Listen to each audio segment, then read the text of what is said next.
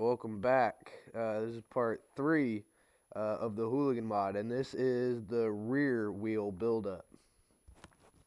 All right, so I've already told you how to, or that you're supposed to rebearing uh, the DRZ, the GS 500 wheels with DRZ sized bearings.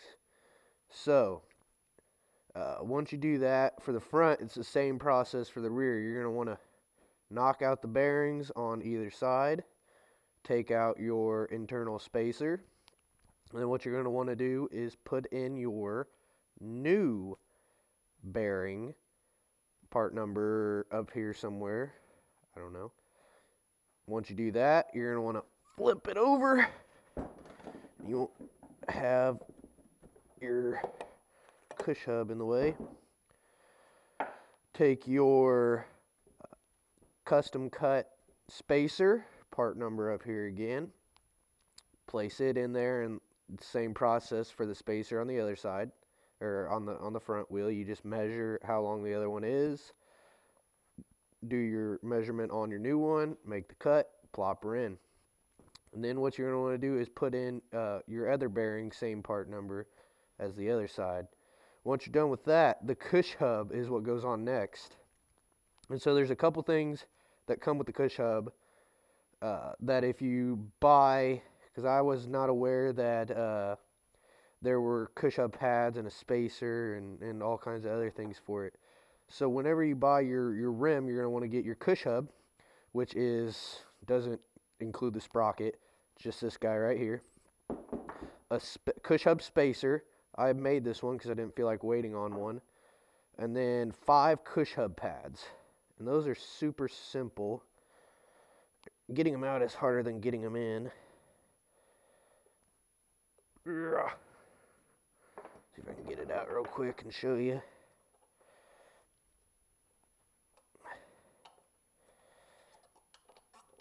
Alright, it's super simple. All it is is this little pad, so make sure the pads that you order are in uh, good shape, no cracks, all the nubs are there, uh, you know, because this is what takes out a lot of pre or a lot of the vibration as you're going down the road. All right, so as you can see, there's a little nub right there, a little nub right there. All you're gonna do is place that nub in there and push down, and it's gonna kind of click in there. So once you do that, the only thing left to do is put your cush hub spacer or your uh, yeah, your little cush hub to, to uh, I don't know what the heck, wheel spacer in there. See, I guess you don't get it confused. So cush hub to wheel spacer in. And the next thing you're going to do is start working on your cush hub. First thing you're going to want to do probably uh, is knock out this bearing and replace it with whatever the part number is up here, wherever. I don't know. I'll figure that out later in the editing. Uh, and so then you're going to replace it with this big guy. Make sure you want it sealed, which is nice. Uh, once you do that, you're going to flip it over and you're going to take out these bolts. And usually these are on the inside. Usually these are in here and these nuts are on the outside. So you're going to take those off. And once you do that, you're going to, these are going to come, see how these have two flat sides. Usually they just have this one flat side over here.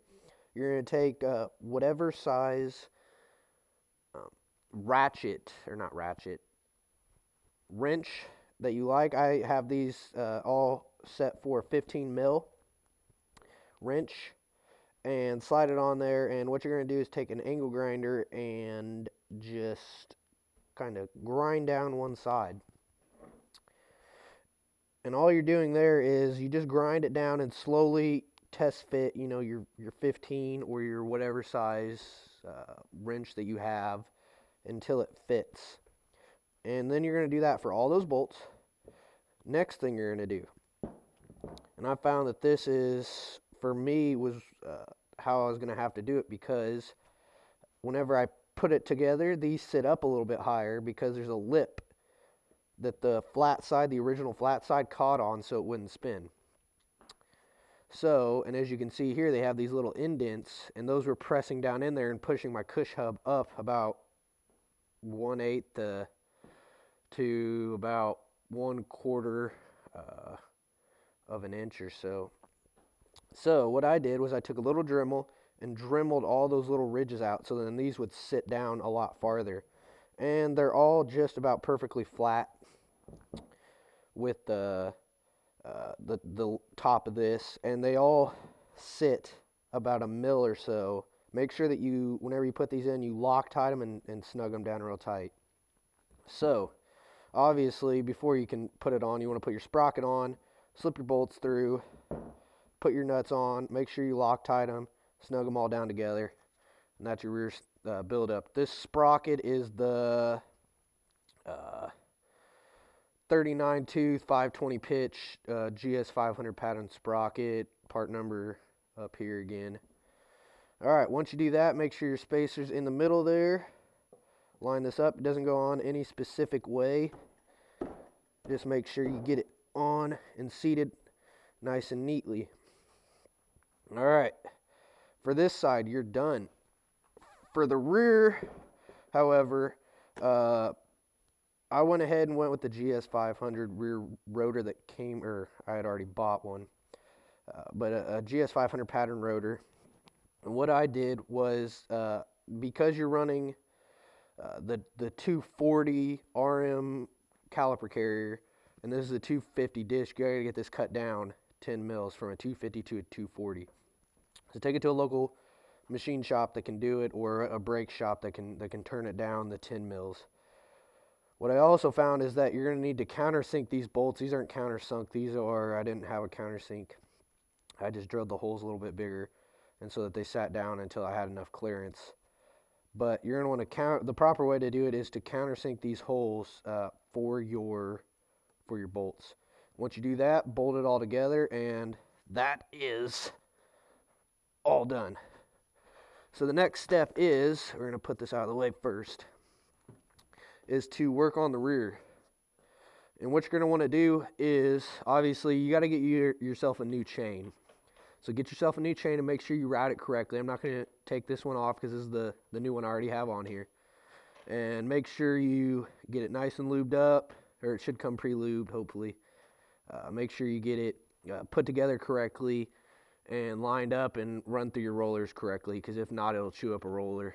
Uh, anyways, the next critical thing you need to do is swap out your your DRZ stock DRZ 400S uh, caliper carrier, which is just this guy, and this is your caliper, obviously. And all it's hold on by is like a bolt and then a floating pin. So undo that bolt, and then it should just pull off your your stock caliper or your stock carrier. And then what you're going to want to do is put it on here, and it's a floating carrier. So just get it all lined up. It's super simple to do. And then you just kind of put it in here. But another thing I did, uh, I was having some rotor drag, uh, a lot of it, especially uh, in a certain point on the rotor for some reason, where it was dragging kind of in here and up here. And I wasn't 100% sure where it was kind of dragging at. So I just took a Dremel and just dremeled kind of all of this out and now it has no rotor drag at all. So, yeah, that's uh, an optional thing you might have to if you have a lot of rotor drag or uh, like a, a spot on your rotor. And I don't know why. Maybe uh, the bolt wasn't uh, sunk down enough or they weren't all even. I'm not for sure what caused it, but uh, for like like I said, for some reason I had some kind of rotor drag. Anyways, uh, this is optional. Optional. If you have some kind of rotor drag, don't freak out. Uh, just kind of grind that down a bit, unless it's super, super, super tight. If you have a little bit of rotor drag, like you can hear it, kind of, it's probably dragging on the pads. Uh, so don't worry about that. Anyways, next thing you do is once you get that bolted to that, and your optional grinding is to put it on like that. Pretty simple. It's that little guy just slides right onto there. You don't have to disconnect any of your brakes, your brake lines, so you don't have to bleed them. Uh, I need to change my fluid because it's absolutely disgusting, but that's for a later video or just for me doing. So anyways, once you get all this done, you're ready to throw your wheel on. All right, so you got your wheel here, and I have it on backwards. But you got to know what size spacers that you need. I took a measurement from here to here, from swing arm to swing arm, how thick that was, and then the inside cavities to, or the, the, the lip of the bearing to the face, and then the lip of the bearing to the cush hub lip. What I then did was, and this is how you're not going to mar up your rims like you see mine are all marred up and, and nasty. Uh, it's because I had chipped my paint that I had painted it. Because I was trying to leave this on and then slide it between this and this, and it does not work very well. So the easiest way to do it is to kind of pull this off and slide it around, slide the rim around. And I'm going to have to get a little closer. Anyways, once you do that, keep that kind of in there with it and slide it all in there together. And then the easiest way to get to hold on is just put your chain on. And there, it'll sit down in there. All right. So once I was here, I found out uh, through sources that the most important measurement on here, or the most important alignment uh, thing, alignment characteristic on the rear wheel is the chain side. You want that chain to be completely straight. Because obviously it's a chain, it can't handle a lot of variation. So if you're off, uh, it's not going to be good for the chain. It's going to put undue uh, wear and tear on your chain and sprockets and then could do uh, other kind of damage to your wheel and or anything else. So uh, i got it perfectly straight. Uh, usually i put the axle in and then did all kinds of little measurements. So i knew the inside lip was about uh, six and a half and then i knew that's about a there's a gap there of about uh, half a mil to a mil. So i came out to roughly, if I can find them, about seven mils or so that I was going to need. So I use these tri-alloy spacers, tri-alloy uh, washers. They actually work really well. And they're about three mils, three and a half mils thick, I believe. I picked them up at Ace. Uh, they weren't too expensive, but they work really, really well. Uh, for this side, the inside cavity. Since this is a, I'll go back here for a second. Since this is a floating uh, rear, like it, it, it, it can handle for variation because it can float on the on the pins. Uh, I figured out that this side was not going to be as critical, so I did measure, and it was about 20 mils from there to the inside of there. So what I did was I realized that the stock S spacer is about 17 millimeters and these are about 3 millimeters. So put them together like that.